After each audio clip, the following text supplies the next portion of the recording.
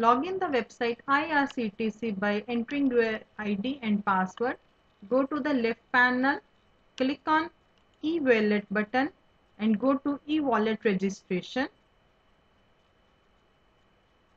Here you have to identify your PAN number and your first name. Enter your PAN card number.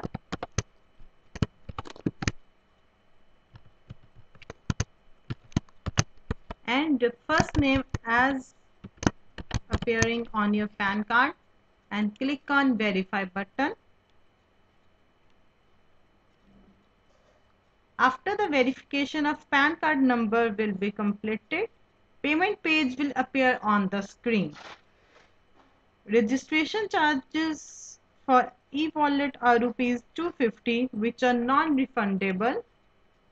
Enter the transaction password which you want and confirm it from here.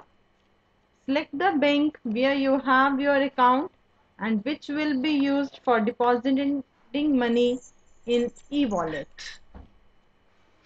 After successful payment, you will see this page on your screen. Again log in by entering on e-wallet button. Deposit and enter the amount you want. Remember that you can deposit a minimum of rupees 100 and a maximum of rupees 10,000 into your account. Click on submit button. So now your e-wallet is recharged and ready to book tickets online through e-wallet. Thank you.